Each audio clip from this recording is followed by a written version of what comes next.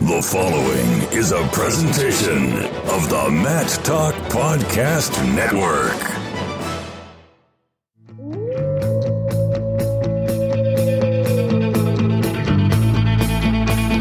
The mind of Pat Popolizio is a wondrous thing. And for you Pack Wrestling fans, you'll get to go inside the mind of the skip each and every episode here on the Pack Mentality Pop-Ins podcast. Now, here's your host, NC State Director of Athletics Digital Communications, Brian Reinhardt.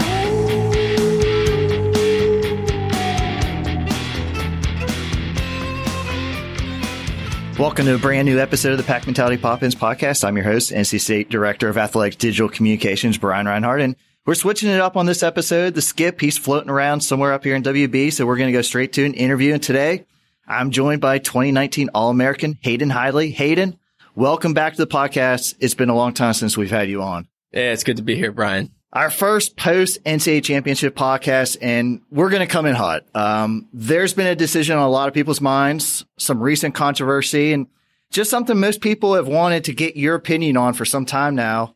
Philadelphia Eagles letting Nick Foles sign with the Jaguars. Good move, right move. What do you think? It's a tough move because I think you lose either way. Um, I think you've got two really great quarterbacks, and you know you, you, there's just not enough room to keep both of them at this point in time. And so you want to hold on to the guy that brought Philadelphia championship after all these years. And so, I mean, I think it's a lot more risky move to keep Foles and let Wentz go than it would be just to keep Wentz. So I have all faith in, in Carson Wentz. So I'm, I'm ready to go and I support their decisions. It's good analysis. Now, you told me you've been a huge Eagle fan since right before they won the Super Bowl. So, okay. but I know you're a big NFL guy. What about college football? Well, obviously, I root for the pack. I mean, I, uh, I think growing up, I was big into college football, but I think my Eagles fandom probably began once they lost to the Patriots in the Super Bowl all those years ago.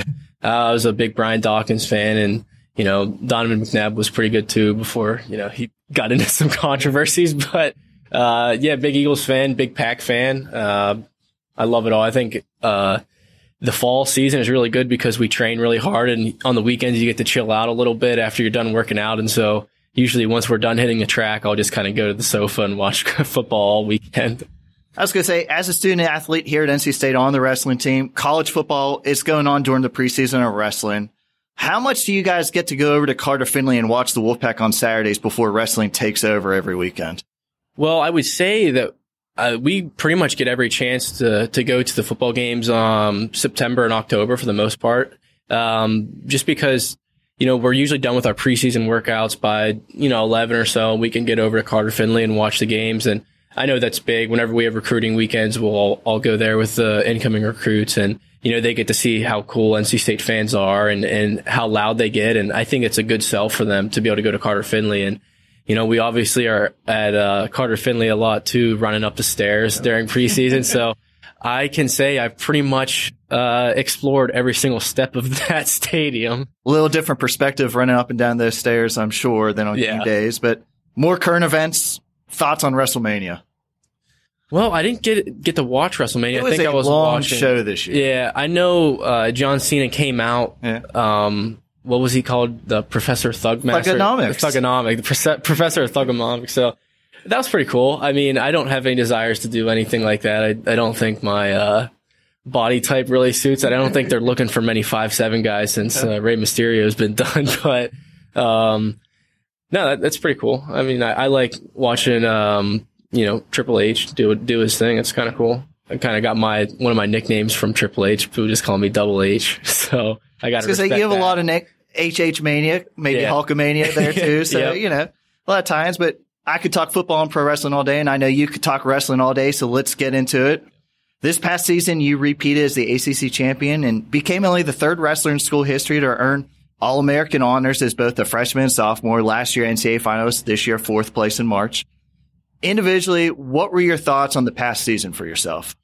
Well, I think it started out up and down. I know the beginning of the year, I, I wrestled pretty well at the first tournament I went to at the Hokie Open. And then, you know, I went and did the U23 World Championships and that sort of was a disaster for me almost. I mean, I, I wrestled well, but it just, I didn't come home with anything special. And then, coming home from that, um, I had spent all this time trying to peak for that tournament. And like the next month or so, once I got back, it was like really hard to get back in my groove. And I took, took a few losses and, you know, it's weird because I mean, I went through my whole freshman year, you know, without a blemish. And then next, you know, we're in December and I've got two losses already. So, I know I had to really dig deep at that point in time. I, I think I, I leaned on my coaches for that support and, you know, things just weren't clicking. And I, I wasn't scoring on my feed. I, uh, you know, my conditioning was fine. It, that wasn't an issue, but I just wasn't scoring. And, you know, I wasn't looking very good. And, and that was a time where I needed to kind of take a step back and, you know, let out a deep breath. And, you know, that's the season's not made in December. It's made in March. So,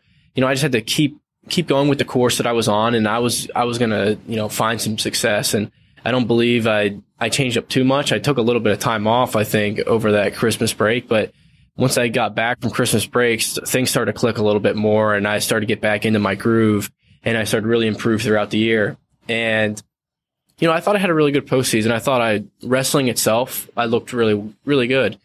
It's just, you know, I, I ran into, uh, to a buzz saw of a bracket, um, you know, wrestled my hardest, but, you know, I just didn't get the results that, that were there. And I was really close. I mean, there's a couple just takedowns here and there that could have you know, been the difference between winning that tournament. But, you know, I, I know that you can't look back on those type of things and, and make excuses about it. I mean, I just know I got to get better in, in order to win that tournament next year. Covered a lot. I was going to cover all of those points you just made. So good fault. But uh, going back to the start of the season, you and Sean Fausz, and before we get started, over under, who weighs more right now, you or Sean? We actually did do some weight checks, I think last week, and he is, I think like maybe five or six pounds less than I am. So I still have him. Uh, there was a point, this is really funny story. There was a point last year uh, during the summer, I think it was August, and all of our wrestlers from 125 through 157 were all within five pounds of each other. So I stay pretty light and, and pretty lean throughout the year just because it's, it's a little bit harder for me to cut weight. Um, I don't, I don't lose as much weight compared to you know, some of the other guys like Sean, uh, just my frame's not really built for that. So I like to stay lean. I'd probably stay around, you know, 163 throughout the year. And Sean was obviously up in the, up in the fifties. Tariq was huge up in the fifties. Uh, you know, the Morris brothers were right around my weight too. And Oliver was a little bit heavier than I was at that point. So we were all, within about five pounds of each other. So it was a really good uh, training environment. It's, it's going to be somewhat similar right now. I think Tariq said bulk season is starting now. Yeah. They're all trying to catch up to you, I guess. yeah, I guess so. But uh, it's kind of cool because, you know, you don't usually see those guys in, in the season. You don't really practice with them. But now that Tariq's uh, a little bit heavier and it's, it's a good, you know, mesh of training partners, you get a different feel. Besides that Italy trip with NC State last season, the trip to Romania for U23s, that was your first international trip for wrestling. And off the mat, how was the experience? Did you guys even get to take the time to experience Romania and its culture? A little bit. Um, my mom went there and uh, she got to do a lot of touring. Uh, it was a very condensed trip just because we were missing classes and stuff like that. It's not the most ideal circumstances because it's right in the middle of November, but uh, my mom got to do a lot of that stuff, and then once I was done wrestling, I got to explore a little bit of Bucharest, and it was it was really cool. I I think I would have liked to maybe you know have that trip in the summer, just because it would have been a little bit longer trip. You could maybe go around and see some different stuff like Dracula's castle, but I didn't get to do that. But my mom took some pictures, and that's what I had to settle for. And we talked about international wrestling. They really don't care what the college schedule's like looking back now, how hard was it for you and Sean? Broke you guys kind of broke up your college season, had to do that, wrestling a different style, had to travel back. You suffered a little bit of an injury too that mm-hmm. we really didn't talk about. Just how was that experience in your college season to do that while you weren't redshirting? Well, looking back on it now, it was probably not for the best for me to be competing. I mean, like, uh, that whole trip and, and getting ready for that tournament didn't really allow me to be all that good in December, which I mean, in the end, it doesn't matter how great you are in December, but you know, it was really tough. I mean, you, we had a plan in place and I really trusted that. And, you know, we trained freestyle up, uh, for like a few weeks beforehand, but, you know, we're here to be college wrestlers. So we didn't get away from folk style either. So, you know, we went through preseason, we're practicing folk style. Then probably with a month before Romania, we, uh, started, you know, getting back to freestyle and that transition was pretty hard, I thought.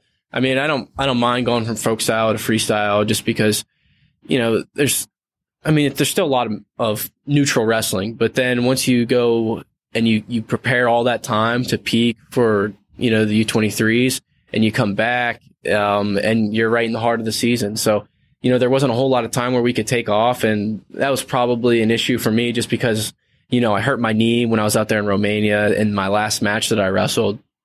And so I got back and I was trying to, you know, get ready for the folk style season. And I don't want to say I, I jumped back into things too quickly. I think I just underestimated how hard it was going to be. And I think, you know, my month of December probably showed that. He recovered second ACC championship in as many seasons, and more importantly, an ACC team title as well, in addition to the regular season title. Both of those wins coming up at Virginia Tech. How satisfying was it to win the ACC championship as a team this season? It was really satisfying just because of, you know, like my season had some up, ups and downs. We had some peaks and pits as a team. And so for us to be able to win not only the dual championships, but, but come around and, and win the overall championship, I mean, that's the goals that we set. Whenever we were having a, a rough stretch during the season, whenever we dropped that dual meet to pit, we had to really come together and, and realize what our goals were. And everybody in the room said they wanted to be an ACC dual champion and ACC team champion. So, you know, what we were doing, I don't think lined up with those goals. And I think it took that loss for us to really kind of take a step back and, and focus on what we need to be doing. And I think that showed a lot about our team in that point in time. And, you know, we knew that we would have a young team this year and we needed guys to step up. And I think we had a lot of guys, you know, kind of break through in that moment and, and step up as leaders. And we had a really great stretch there. I mean, we beat UNC, Virginia Tech, and then went to ACCs. And, you know, we didn't wrestle like lights out, but I mean, we, we wrestled good enough to win, obviously. And so that was a really cool stretch to be a part of. I think we grew a lot as a team in that point in time. And, uh, you know, we didn't get the results we, we were looking for at NCAA's as a team. But I mean, for how, how dire some of the things got during the year, I think, you know, it, it was a, a pretty, a pretty solid finish out to the season just because of where we were at, at one point. I joked about some controversy to start this podcast. So of course now we got to get into the NCAA championships and people just want to hear your opinion. Um, last year you got the number one overall seed going undefeated. This year you were fifth. I admit I'm very biased, but I thought that was a little low. And mm-hmm. you don't seem like Kobe or Michael Jordan where it takes something to piss you off and you, mm-hmm. gets motivated. But as wrestlers, do you guys care what seeds you are? What did you think of yours? Or did you just know it doesn't matter? Well, I, I know going into that whole bracket process in my head, I'm like, all right, I'll probably be the three or the mm-hmm. four. I think there's probably a, a coin flip about what it's going to be. And, and then I saw the bracket. I'm like, five. I had not even put that through my thought process. Like you think, I mean, like people always say, like, I don't care what seed I get, but you're, you're thinking about it because, you know, you don't know who you're going to wrestle or things like that. So in my head, I was probably going to be the three or the four and I was fine with either one of them. And the fifth, I was like, okay, I mean, this is pretty much the same as being the four seed. I mean, if you think about it, it, it really is. So, you know, I'm not like taken back by anything. I kind of figured that would be one of the routes taken as the four. And once I got the five, you know, it, it's similar. So, you know, I don't get mad about that thing. So I, I thought it was deserving because I didn't have a very consistent season and I didn't really take out anybody that was within the top five. So at that point, my best win was probably you know, Romani of Pitt twice and the Ohio State kid. So, I mean, I'm realistic. I knew I didn't have the greatest regular season. I had some opportunities. I, I had a match against the, uh, who ended up being the two seed and I dropped that. So, you know, I thought it was pretty fair. I, I didn't think I got, you know, hose or anything like that. And just going right into that semifinal match with Jason Nolf Penn State, mm-hmm. rematch of last year's final. So now that it has happened, do you like instant replay and challenges in college wrestling? Well, I'm, I mean, I'd be lying if I said that kind of whole match didn't play through my head because it does. I mean, every day you think about, all right, what exactly happened? What could I have done more? And I mean, I, I thought I wrestled lights out in that match. I thought I was doing really well. And even off the, the first whistle, he got into his best shot and I was able to scramble out of it. And I was like, if I am out scrambling Nolf right now, I mean, I'm going to win this match. And, you know, the first period comes to a close and I'm in on a really good shot and you know, we get into another scramble again and I'm kind of out scrambling him and I'm thinking, all right, if I'm beating him at his best game, then I'm just going to win this match. And, you know, the five seconds starts ticking down and I get behind him on the waist and I thought I had two. And then they go to, to replay and I mean, I, I think I understand what they called. I think it was, you know, I, I got behind him and he, they gave reaction time for him to get up because, you know, I thought it was a rear standing position and usually in rear standing, they don't give reaction time. So I'm thinking in my head, all right, I've got two. But, you know, whenever we started scrambling, I, I think the ref, you know, thought that we weren't in rear, rear standing. So he allowed reaction time. And so they go to that review process and I'm just sitting there kind of like standing around, you know, I had a really good first period. I just want to get this match going. And it was a long review. It really was. Too. And I mean, in the moment too, you don't think about how long it was, but I'm sure it was, I mean, well over five minutes or something like that. And so I'm just waiting and, you know, I was prepared to hear whatever call it was. And, you know, I think I've had enough maturity over the years to just, you know, I don't I don't want to show anything during the match because I don't if if I would have got pissed off that you know they didn't give two, mm-hmm.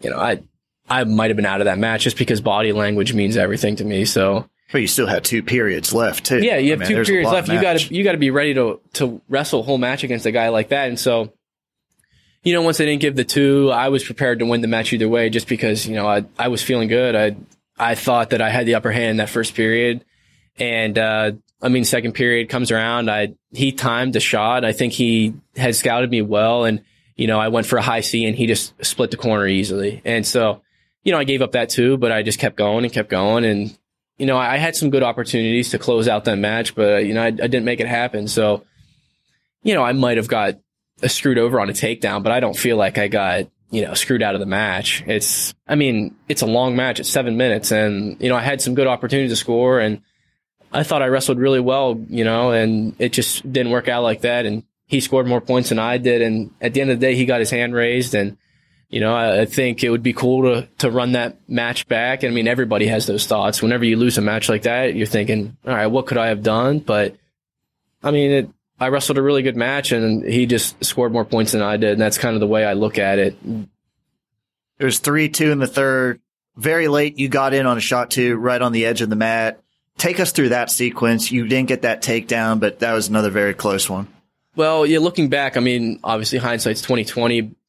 I think I should have maybe started my last push a little bit earlier. I think um, I know cross country runners they talk about their last kick that they go on, and sometimes they think about, man, I could have really started a little bit earlier in that. And so I think I started my last kick where I was just kind of going, you know, all out, probably with like 20 seconds left.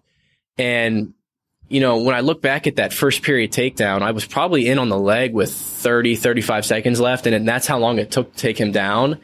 And I probably should have accounted for that more. I think with Nolf, he's really tricky in that once you get to his legs, he can do a lot of different stuff and give you a lot of different feels. And, but I knew that if I could get to his leg, I thought I was going to score. I was pretty confident in that. It's just, I think looking back, I needed more time just because a guy like that, he's been in those situations. He's comfortable, comfortable there. I think for my last kick, I should have started around 40, 45 seconds. I think I would have been in enough scoring positions where I could have got it at that point. But, you know, I started my last kick around 20. I got into a leg at 15 and, you know, he was able to kind of hold me out until the buzzer rang. You talk about starting late, some of your moves. and all. How do you know in a tournament how much time's left? How aware are you of the clocks? Well, you've got an inner clock in your head. And for me, I thought, I think that's one of my strengths. I can keep a, a clock really well in my head. And obviously there's some stoppages. And every time I go out of bounds, I do check the clock. I think that's a fine thing to do. I never check the clock while I'm wrestling just because I just one, it, it shows weakness. And two, it, you never know if a guy can catch you, uh, you know, splitting your eye out for a second and he'll, he'll shoot and grab your ankle. So, for me, I don't look at the clock during, but I kind of thought in my head I probably had around 20, 25 whenever I took that shot. Um, that was what my inner clock said. And then going back and looking at the match, I probably shot in at, I don't know, 14 or 15. But I mean, it, it's, it's one of those skill sets that you kind of have to learn as, as you go on. And I think I've done a good job at that. But I mean, I think we went, I, the last time I checked the clock, it was probably at like 40 whenever we had a stoppage and I kind of had that running in my head. You might get your shot back at him in freestyle this offseason. Does freestyle change the dynamic of this matchup between you two and what has been a good couple of matches at the last two NCAAs? Well, I don't really know how the freestyle match will go. One, just because you haven't seen him in a few years go freestyle. You don't really know what weight he's going to go. But I mean, at this point, I, I know in freestyle, I'm just going to have to win like five really hard, hard matches. Cause I mean, by the time trials comes around, it's just going to be all good guys. And so, you know, you don't know if you're going to see him or, or somebody else. And it, it's just going to be a really hard fought match, no matter who you're wrestling at this point. But, yeah, I mean, obviously, I'd love to wrestle him in freestyle. They've been really good matches for me, and you know, I I've been able to solve his kind of code a little bit. I mean, I was the closest match with him for quite some time, and you know, I, I feel like it's a good matchup uh, style for me, just because I I don't give up a whole lot of points no matter who I'm wrestling, and uh, I usually can my defense can prevail against guys like that that want to get into a lot of scrambles, and so I, I think freestyle uh, it'll be just a lot of fun just because the, there's a lot more action in freestyle. But looking forward to that if I get to wrestle him. It's always a quick recovery at the NCAAs. Almost right away, you have to switch your mind onto who's next. And a lot of people were curious how you were going to come out that final day medal rounds. How long did that loss to Nolf fester in you? And how long did you just go, all right, got to get moving next? Well, I think it was like I, don't know. After I lost, I was, you know, there's a little bit of confusion, there's some rage, and you're thinking like, I mean, if if you if you go to the NCAA's and you record somebody's like five minutes after they lose, it's just it's a mess. And so I, I, I don't cut. Here's the thing. I don't come and bother you guys for a little while. Yeah, I know other guys come and grab you. It's right just away. like the thoughts that go through your head are just yep. so ridiculous. like it's it's just so funny looking back at it now. But usually for me, whenever I lose a match like that, I just go lay down in the back mats and just, I don't know, just lay down and decompress and usually just get, tell my coach, just, just give me five minutes and then I'll be fine. And so after that five minutes, I'm just, you know, I went and checked my weight for the next day and got, got some dinner and I was like, all right, I, there's nothing left for me to do here. I'm just going to bed. And so I went back to the hotel and was like, I don't want to check my phone or, or do much at all. I'm just going to bed. And, uh, and, uh, woke up Saturday and I mean, it, it hurt. My body hurt, but I was just like, all right, I can, I can think about my performance once I'm done with this. You know, I've got two matches to win. And after that, I can, I can look back and, and see where things went wrong. And, uh, Saturday, I mean, I, I was warming up with Kevin and I'm thinking to myself, wow, my body feels terrible. and Pat comes up to me. He's like, you know, how's it going, man? I'm like, it's going fine. My body just feels like crap. And so uh, I wrestled that first match and I looked really good actually. I I thought I wrestled phenomenal, and uh, you got the win over Deakin of Northwestern, yeah. advanced you to the third place match. Yeah, and that you know things were click, clicking in that match. I mean, I got to the third period, I had a big lead, and I went on bottom, and then I was thinking he was going to cut me, but I mean, I was like, all right, if if he's just going to keep riding me and, and not really make an attempt to turn, then I, I guess I'll just wait it out here on bottom. And so I was kind of saving some energy for that next match. And um, I mean, I knew in the third and fourth match it's going to be a war, just because I mean, every match with me and Pantaleo is just like hard to score, same body type. I was going to say, is there a better matchup of the same short, just cut guys than you and Pantaleo? Yeah, I think when it comes to like, uh, I don't know, best statures in the NCAA, I think it's probably me and him are up to the top.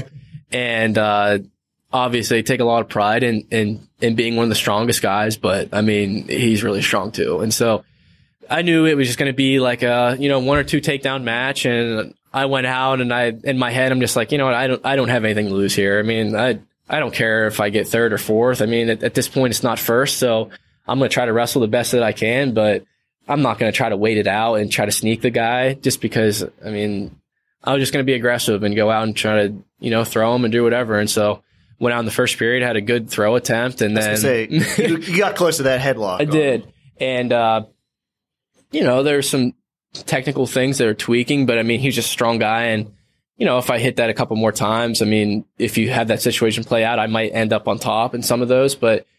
I mean, I got a little bit, uh, had some gun fever after that and I started throwing another headlock and that one was failed. and so, uh, I put myself down in that point, but I was I wasn't worried. I mean, I just had to keep going forward and, and trying to make some shots, and you know they just didn't come. And so I uh, you know, I put myself out there. I, I tried to be, you know, offensive and just didn't work out at that point. But I mean, I don't think I would feel any different if I got third or I got fourth. So it, it didn't really matter much to me. I didn't really think over that loss. Do you ever swear? Swear, uh, in the practice room, yes. Okay. So, yeah. so I, know, I, I didn't know after a loss. I don't know. Do you get mad? Do you yell? Do you swear? Or do you just go Uh, quiet to yourself? my go-to is usually um I usually take my straps off and lay down somewhere and just put my shirt over my face just because I mean you put yourself through so much emotion uh, I mean it's not like I cry or anything it's just like I don't need people seeing me like this and so usually take 5 minutes you know lay down put a shirt over my face and usually I think your thoughts can kind of come back to you after 5 or 10 minutes and I think I've been pretty good at that but I mean this sport's totally insane if you think about it. So, I mean, if you go into the practice room, don't bring a mic in there. This was the first year your recru- recruiting class was all in the lineup at the same time. Yourself, Tariq, Daniel, and Thomas Bullard and Nick Reenan. And it was the number one recruiting class coming out of high school, and all five of you guys made it to the NCAAs. And going back to recruiting visits, the redshirt circuit, how rewarding is it that all of you guys are accomplishing this as a group? it's really cool. I, I think we haven't really like had that signature moment as our recruiting class. And I think guys are ready to make that.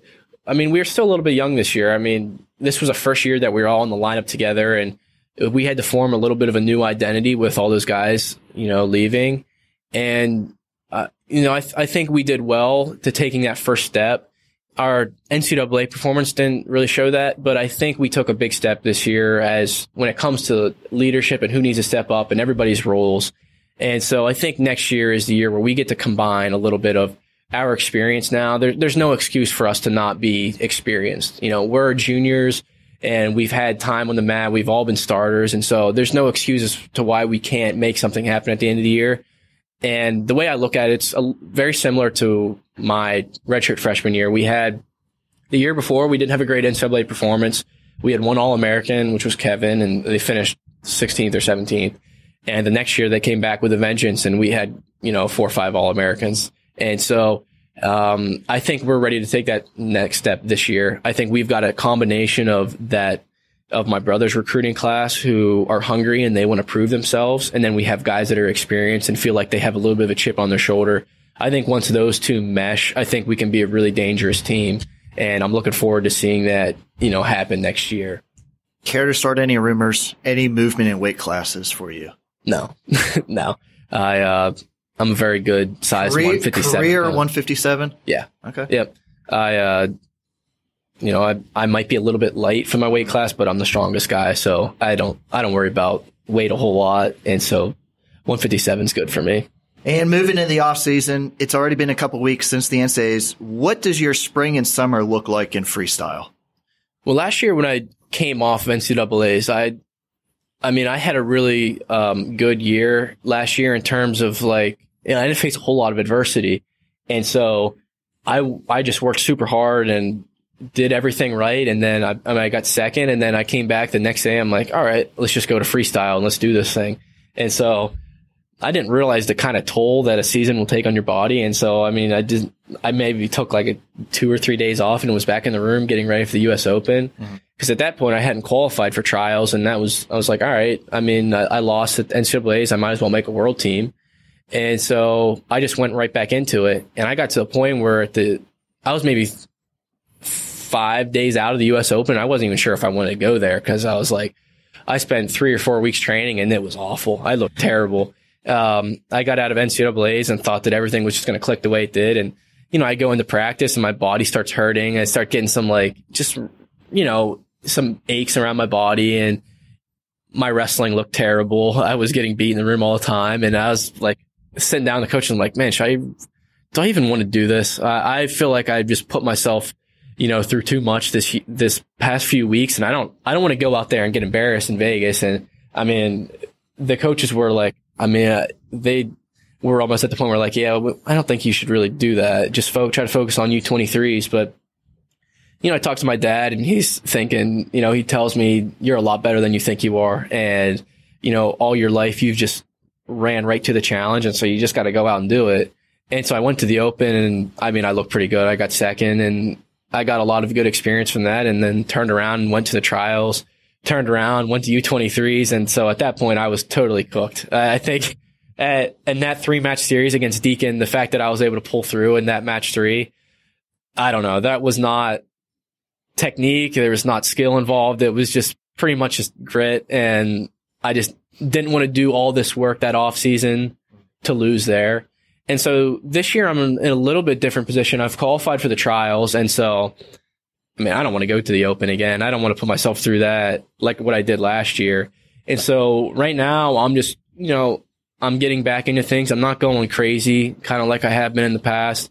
Um, I'm just trying to peak for the world team trials. And so that's a really cool feeling to have because I felt like last year I was a little bit rushed in my preparation. You know, you spend all these months doing freestyle, I mean, folk style, and then you go to the open and these guys have been wrestling freestyle for years. And so, I mean, it, it was, it was a tough challenge for last year, but I learned a lot. And, you know, I feel like I'm in a better spot this year to peak at trials.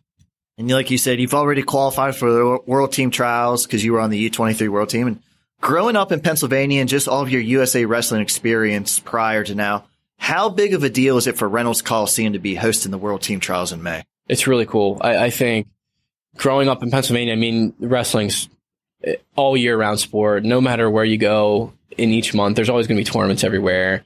And uh, I think with Raleigh hosting, I think that's a big step for our program and just being able to showcase that, yeah, we're a really great wrestling environment. And if we get a good turnout, you know, they might recon- like consider us for an NCAA championships in, in the future.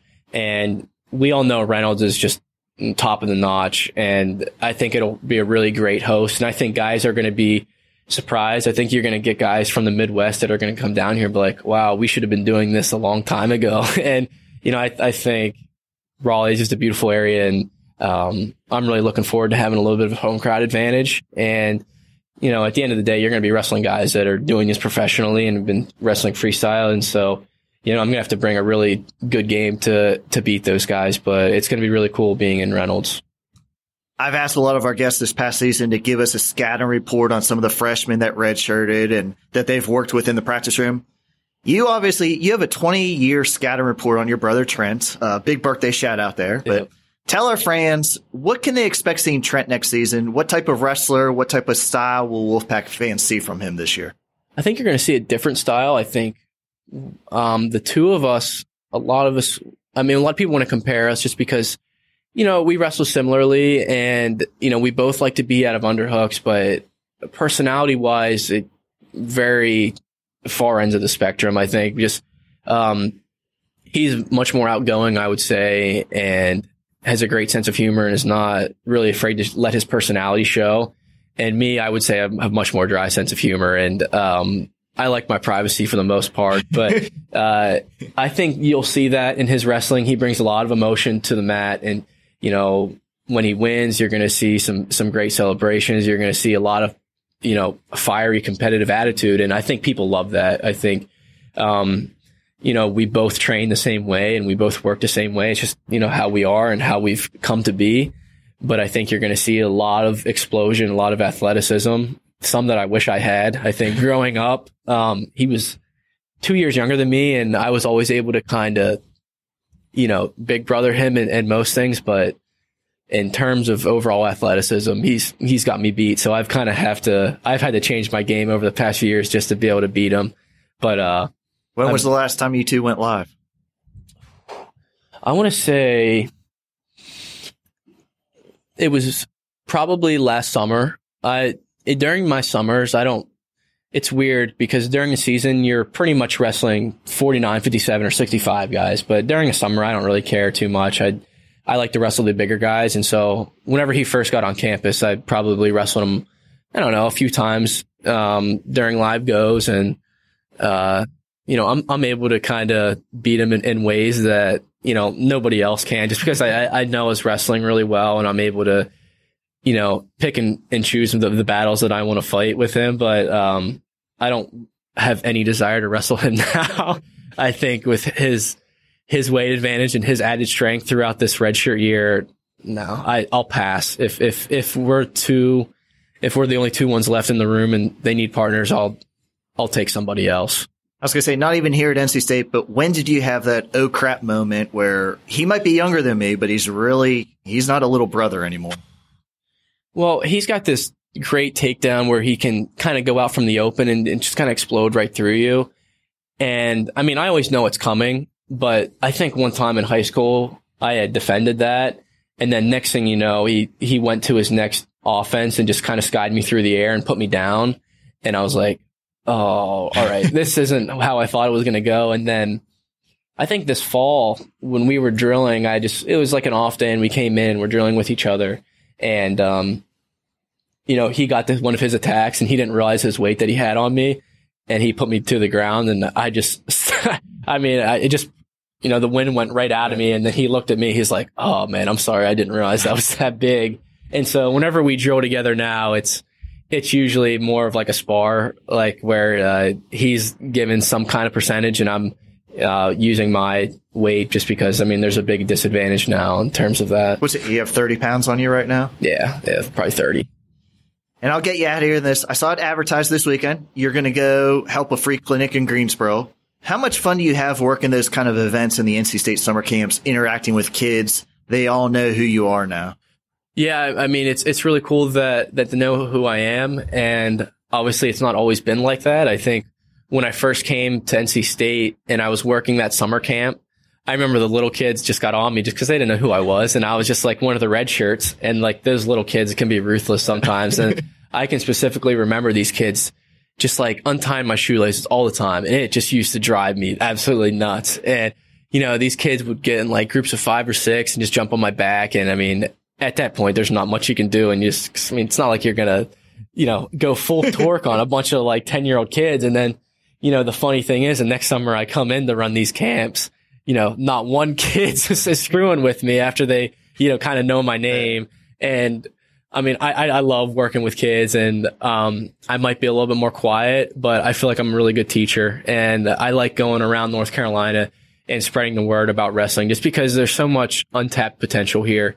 It's not a, you know, a powerhouse wrestling state, but there's just so many good athletes here. And, and I, I want to be the, you know, be the guy to kind of spread it around. And I know we've had really good guys on our team that have served that role, especially guys like Mock who, you know, have shown that, you know, North Carolina wrestlers can reach the top of the podium and, and the highest pinnacle in the sport. And so, you know, for me, I'm, I'm always willing to give my time and on the weekends and whenever I have some time off you know, I have a good relationship with Dark Horse Wrestling Club in Charlotte, and so I'm there quite a bit, and I've got to form relationships with those kids and their parents, and it's an awesome setup here in North Carolina. There's it's growing, you know, very rapidly, and you know, I think NC State's been a big part of that, and so I'm I'm glad to be a part of that too.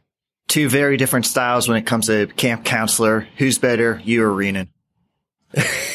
um, Reenan knows how to implement scare tactics in kids. um, he he tries to make himself out to be more mean of a person than he actually is.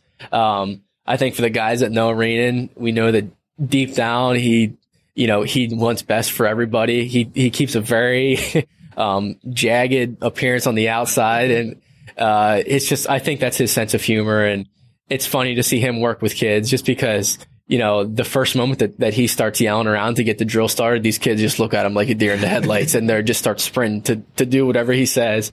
And it's like, for the rest of us, we just look at and laugh just because we know that they have no idea about this guy. Hayden is glad, you know, great to catch up with you after a workout. Uh, in season's always exciting, but the World Team Trials only a few weeks away in Reynolds. A lot of people going to be watching. Good luck to you and all of your teammates as you guys go in this next freestyle. Thanks so much, Brian. Thank you for having me on. And I want to thank everybody for listening today. This is your Pack Mentality Pop-Ins podcast covering all things NC State wrestling. Until next time, Wolfpack wrestling fans, go Pack.